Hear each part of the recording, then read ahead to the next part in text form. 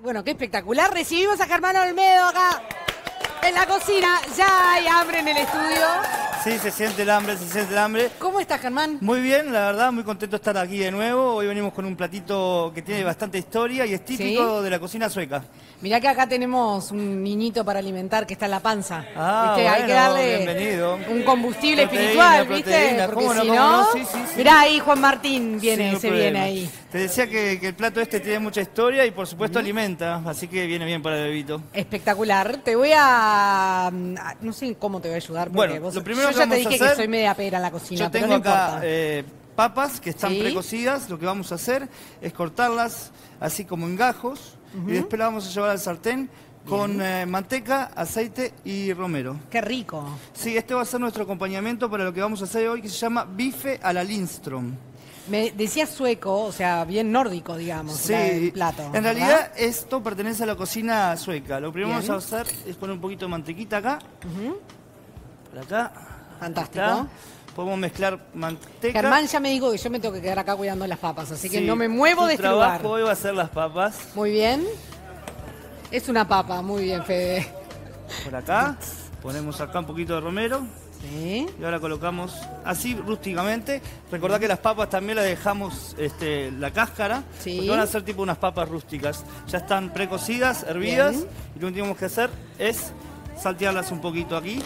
Muy bien. Y vamos a ponerlo a calentar. Perfecto. ¿Y se gratinan, se quedan como quemaditas, digamos, o no? Sí, claro. eh, la cuestión es dorarla, porque ya te ¿Qué decía que están precocidas. Ahí va, Yo lo que voy a hacer ahora es pasar a nuestra preparación, Bien. que vamos a poner primero un poco de echalot o cebolla cortadita. Así, de esta forma. Esto es tipo como una hamburguesa, sería como una hamburguesa, pero ya le llaman bife. Bien. Es una preparación a base de, de carne picada, lleva cebolla, Sí. lleva alcaparras Qué rico. y remolacha. Viste que a veces para los chicos es un poco difícil este, Comer ciertas verduras. Exactamente, acá podemos usarla y ponerla media escondida lo que es la remolacha. De- contame un poco de la historia de este plato. Bueno, la Así le historia se, a la gente. se remonta se remonta a un pasado de mil, del 1862. Wow. Allá por esa época, el capitán eh, Henrik Lindstrom es el nombre. El capitán Henrik Lindstrom volvía de trabajar en, en la, en la Armada sueca y Ahí se encontraban... empezamos a ver fotos. Exactamente, ahí está el capitán que estaba en la Armada Sueca en Rusia y cuando volvió a la ciudad de Kalmar, al sur de Suecia, decidió sentarse en una mesa junto con sus amigos y darles de probar un poco de lo que él había aprendido en Rusia. Fíjate que las remolachas y las alcaparras que le estamos poniendo en la preparación son este, típicas de la cocina rusa. Bien. Y fue así que en esa mesa pidió todos los ingredientes de esta receta, los mezcló y pidió que en la cocina lo saltearan como lo vamos a hacer hoy nosotros. Y desde ese momento quedó en, en la historia de Sueca y más bien en el hotel donde lo realizó el plato que se llama bife a la Lindstrom. En honor, por supuesto, al capitán, Al capitán. Lindstrom. Mira, Lindstrom un poco de historia no viene, no viene nada mal. no, ¿eh? no, siempre es bueno hurgar la historia y Obvio. principalmente cuando uno cocina, este, saber los orígenes de dónde viene cada cosa. ¿Yo puedo tomar este utensilio? Digo, Sí, para... por supuesto. Muy bien. Bueno, teníamos acá alcaparras, eh, remolacha que ya está cocida, cebollita, vamos a ponerle este, carne picada, Sí. que lo- por lo general lo mejor es mezclar carne picada especial y carne picada magra. Sí. Porque viste que la magra se puede utilizar más bien lo que serían lasañas y otro tipo de preparaciones, pero para hacer tipo hamburguesa siempre es mejor usar con un, poquito, de grasa. ¿verdad? Exactamente. Después vamos a agregarle este, dos yemas de huevo. Así de esta forma. Sal. Pimienta blanca. Y ahora me voy a pasar a poner guantes de látex para poder trabajar nuestra preparación. La hamburguesa, ¿es mejor que quede así como media despareja cuando uno la prepara o que quede perfectita como cuando viene empaquetada, digamos? Depende de, de cómo la quieras preparar. Si quieres hacerla jugosa, entonces puedes darle un poquito más de cuerpo, ¿viste? Porque si la haces media flaquita, te va a quedar seca por dentro. Claro. Pero la forma varía. Por ejemplo, acá vamos a hacer diferentes formas para este bife y sin embargo puedes usarla de la forma que quieras. Otra de las cosas que puedes agregar a la hamburguesa, especialmente cuando la tenés en la parrilla, es un poco de, de pan rallado. Mira, Claro, para así no nos pierde la forma. Viste que a veces en la parrilla los, eh, los espacios entre las rejas son un poco complicados. Sí. Entonces es mejor siempre usar este, un poco de pan rallado y huevo, por supuesto, para ligarlas. Mira qué bien. Bueno, vamos a darle forma ya. ¿Cómo van esas papitas? Bien, vienen a fuego bien lento, ¿verdad? Sí, ahora podemos cambiarlas con el bife. Mirá, voy a poner acá los bifes con un poquito de aceite. Sí. Así, y los voy a hacer bastante pequeñitos para que los podamos consumir rápido acá en el canal. Están todo el mundo con hambre, mirá. Están todos con hambre. Llega a esta hora, ¿viste? Y, y además, Perfecto. ¿sabes lo que pasa? El perfume de la cocina, el que no tiene hambre, le empieza a picar el hambre. Eso es lo que pasa. Eso es lo que pasa, ¿no? Claro. Y por lo general acá en el estudio hay que traer bastante porque los chicos están... Son de buen comer, ¿viste? Son de buen comer, Sí. exactamente. Lo que vamos a hacer es subir el fuego por acá. Ahí estamos. No sé qué me decís vos, qué te parece si subimos o no. Sí, vamos a subir un poquito porque están yendo muy suavecitos.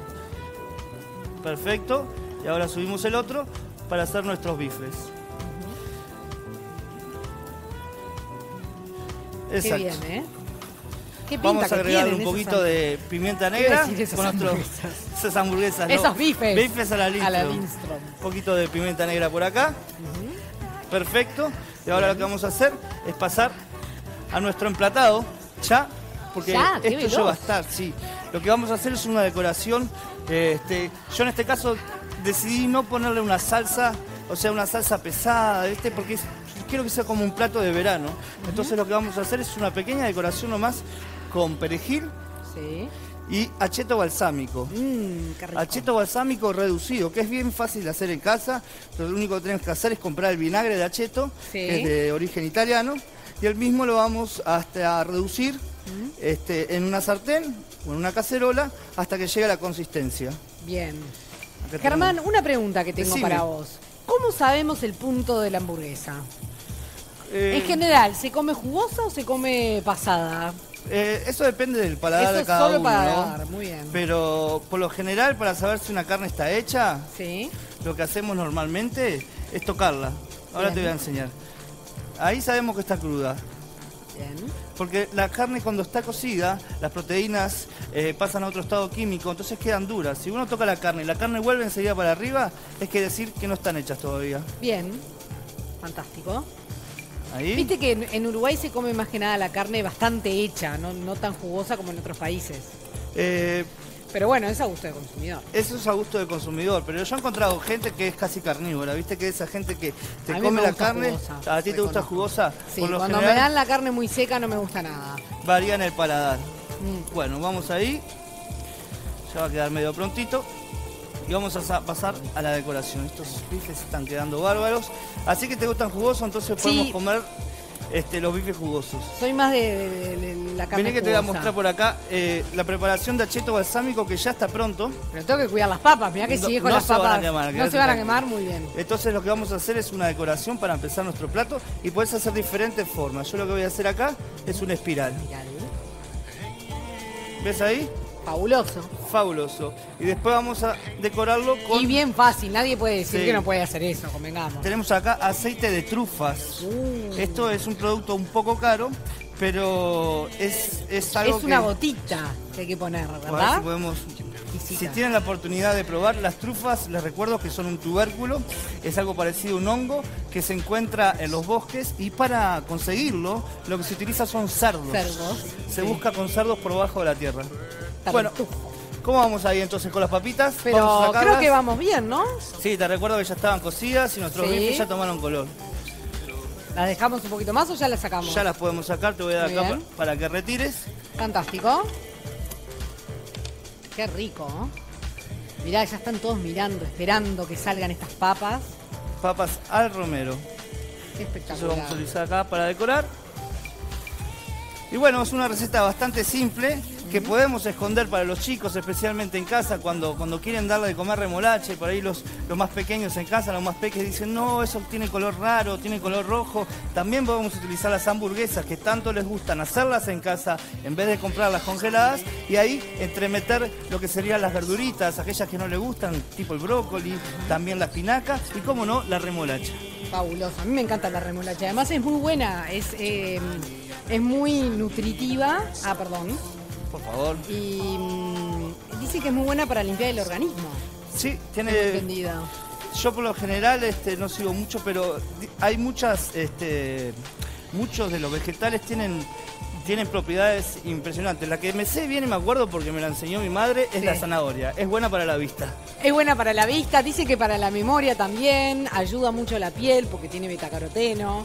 Sí. Todo eso, mirá, te digo. Bueno, por acá vamos emplatando. Recuerden que estos son bifes a la Lindstrom. Con cualquier persona que se encuentren de Suecia o de Escandinavia, nombrándole este plato, seguro este, van a quedar bien o preparándolo en casa. Este, es un plato muy conocido en la cultura nórdica, pero especialmente lo que te decía en Suecia. Bueno, para terminar, vamos a colocar este, una ramita de romero. Así. Un poco de perejil picado. Y por supuesto nuestras gotitas de aceite de trufas. En este caso, trufa negra. Trufa negra. Lo, lo que también es, es lo fácil y lo rápido, ¿verdad? Y un poquito de pimienta chin, chin. negra. Y acá estamos Y prontos con, opa, Opa. con nuestra receta. Vamos, accidentes. Accidentes en la cocina. Bueno, para ustedes, bifes a la Lindstrom. Espectacular. Ya es un poco temprano para almorzar, pero mirá, ya se empezaron a arrimar acá, así, atrás de las cámaras, no saben lo que es, señora. Está lleno de gente esperando para meter ahí un, un tenedor. Bueno, muchas gracias. ¿eh? Que pasen todos bien.